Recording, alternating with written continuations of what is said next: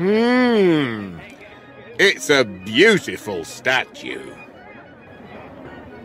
And it's very, very old. Yes, it is.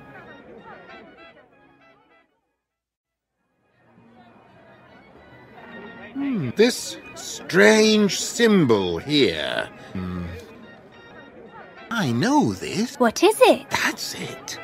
Now I remember. Wait here.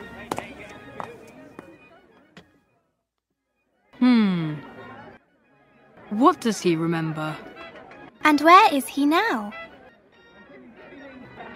I think he's in the museum. But what's that symbol?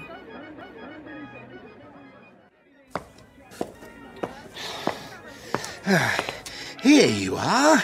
Look at this. What is it?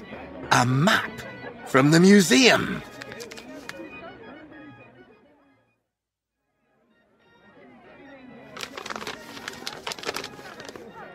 Study the map so then you know the places where you need to go. When you get there, look and find a line like this to make a rhyme. The lines together make a quiz to tell you where the treasure is. Look. What can you see? The symbol. It's the same as on the statue. This diamond is the symbol of an old English king. With this map, you can find more of his treasure.